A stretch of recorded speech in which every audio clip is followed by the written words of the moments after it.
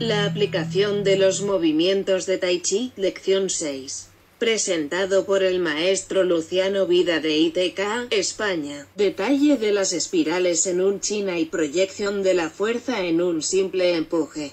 Si te gustan nuestros programas dale a like, suscríbete a nuestro canal y comparte los videos. Gracias. Tengo más películas en elitetalli.com.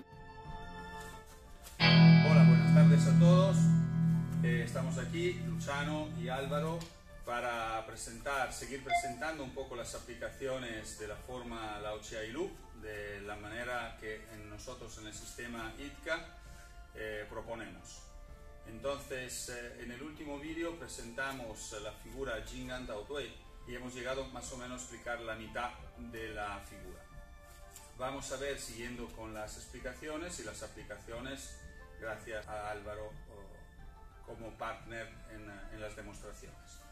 Entonces, la otra vez llegamos a este momento de la forma. Ahora, en este momento de la forma hay um, una fase que, que, nosotros llamamos contra, de contracción y hay esta posición. Y de aquí se desarrolla esta posición. Entonces, vamos a ver unas posibles aplicaciones. Entonces, en esta circunstancia, por ejemplo, si Álvaro, si Álvaro viniera, quizás mejor te pones aquí, por favor si Álvaro viniera hacia mí con un puño, entonces yo, ubicado en esta posición, ahora intervendría con un rodillazo aquí. O un rodillazo también aquí. Eh, conocemos todo este punto. Quien ha jugado al fútbol conoce que, muchas veces un, un, golpe de rodillas y el muslo te molesta mucho. ¿sí? Nuevamente, los low kicks, las patadas bajas, eh, siempre van intencionalmente a golpear un punto muy concreto eh, de la mitad del muslo. Entonces, esto podría ser una idea. También puede ser una idea cuando voy aquí, también intervenir directamente con la tibia, aunque el gesto en la forma sea un levantar la rodilla, pero la idea de la proyección hacia adelante de la pierna podría ser propio un low kick en esta posición. En un contexto uh, deportivo, el low kick vale en el muslo pero en un contexto tradicional donde no hay, no se aplican las reglas deportivas, lo ideal sería la intervención en la rodilla, ¿de acuerdo? Entonces esto para dar una idea. Entonces esta puede ser una idea. Cuando hago este gesto, porque la forma prevé la aplicación constante de las espirales, entonces en este contexto, cuando viene Álvaro, entonces yo me pongo así, pero aquí aplico esta fuerza. Entonces al rotar, aplico esta fuerza de palanca mientras roto. Entonces, esta mano rota y me permite eh, intervenir sobre la articulación para doblarla en sentido contrario. Entonces, en este momento, aplicando esto, pues serían las dos fuerzas posibles que se pueden ver. ¿De acuerdo? Seguimos con la idea de la forma. La forma hemos dicho, desde aquí hay este movimiento. Entonces, desde aquí, sencillamente, estando en una posición de guardia o lo que sea, Aquí hay esta idea. Entonces, desde aquí voy, digamos, estirando más y la pierna que subió se puede meter en medio. Cambiamos de posición, por favor. Se puede meter en medio. Entonces, yo primero hago esto, bloqueo y ahora entro. Entro, entrando con la estructura, provoco que él levante la pierna así. Mientras tanto, la estructura, digamos, que se expande en este sentido, se expande también en este sentido, provocando la eh, proyección de Álvaro al suelo de esta manera. ¿eh? Esta fuerza se llama lie, lie separar. Entonces, volvemos a proponer, tenemos esta idea, evidentemente necesito apartarme, ¿no? Entonces el peso, por favor, el peso que estaba en la izquierda avanza a la derecha, cambio y entro después, incluso después de haber pegado, o puede entrar pegando así la parte interna de la pierna, ¿vale? Ok, este tipo de aplicación en realidad un golpe aquí y un seguido golpe aquí, yo no lo veo muy realista. Lo que más realista puedo ver es propio la intervención de la estructura. Entonces, no me interesa meter la pierna así, así. Me interesa que mi centro vaya dentro directamente provocando esto. ¿De acuerdo? Esto es importante. Al mismo tiempo, la patada, si al contrario, yo la distancia, ¿vale? Si la distancia la tengo un poco más larga, entonces esta recogida de la rodilla sirve para ir directamente en la articulación, ¿vale? La, la dirección normalmente es hacia abajo. Entonces vemos como a veces este movimiento puede ser ligeramente con un sentido circular, como para entrar en la guardia con la estructura, o puede ser más recto. Y el ser recto provoca una especie de caída de este tipo.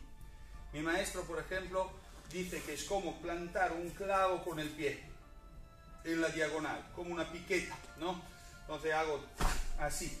Esta idea sería propio, no caigo como con el peso, como veis, porque no se transfiere el peso aquí, pero sí aplico la fuerza así. Si esto entra en la rodilla, seguramente el daño es importante. Al mismo tiempo voy tirando para el otro lado, ¿no? Entonces, una vez más, por favor, uno, dos. Esta pequeña manera de tirar hace que él haga esto. Entonces, no solo esto, sino que esto. Y en este momento se encuentra el punto de desequilibrio, que es interesante. Seguido, cambiamos otra vez. Desde aquí, desde esta figura, pasamos a esta figura. Y aquí podemos encontrar muchas cosas. Por ejemplo, cuando viene con el famoso puño, entro y por encima del codo, el codo por encima, cuando estoy aquí, esta vez he elegido la opción de salir por fuera. Al salir por fuera y flexionar la pierna, provoco esta situación. Antes vimos por dentro en dos opciones, por dentro encima y ahora por fuera. Otra vez. Uno y por fuera.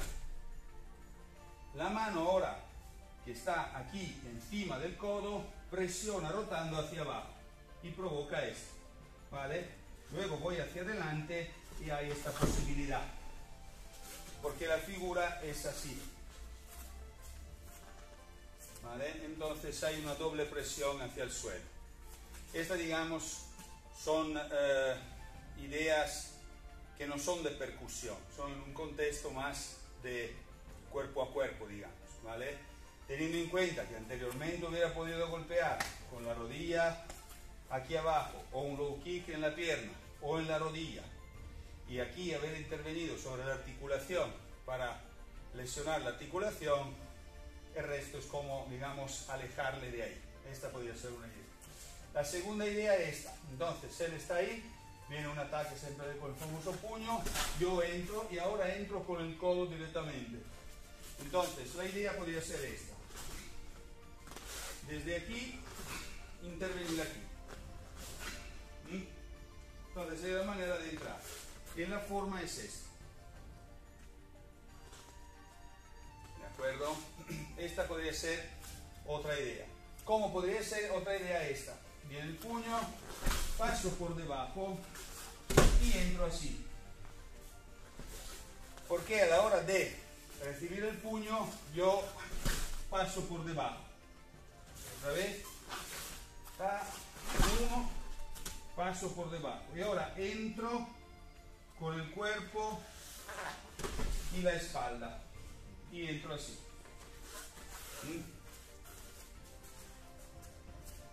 Pensar que este se puede entrar de mala manera, es decir, con un movimiento súbito, con el hombro desde aquí, así. Entonces el cuerpo entra así. No es el codo, no es esto, es esto. Así. ¿De acuerdo? Entonces, esto puede ser otra idea. Y hemos llegado, esto también es el corte de la mano, en el puño, 1, 2. Intervención con el corte aquí. Entro, intervengo. Depende de la distancia. ¿sí? También distante, 1, 2. Con esta idea. Antes de que él intervenga con el segundo puño. Uno, dos. Esta es la idea. Evidentemente, los tiempos dependen, o sea, cuánto puedo hacer esto, así, esto, así, esto, así. Depende de cuánto se acerca y de tantas cosas, de tantas las variantes que pueden ser. Pero para dar una idea del desarrollo de la figura. Al mismo tiempo,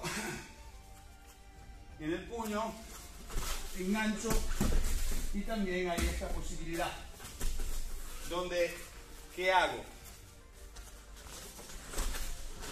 Continúo continúo con la fuerza, es decir, el puño viene desde ahí y yo la fuerza la agarro, agarro la fuerza de su brazo y la hago continuar y la redirijo al suelo. Entonces sería más una proyección. Las otras son cuerpo a cuerpo percusiones, por ejemplo. Ok, yo creo que para hoy, para el momento, es suficiente. Mira mis videos en el Elite Talli Club.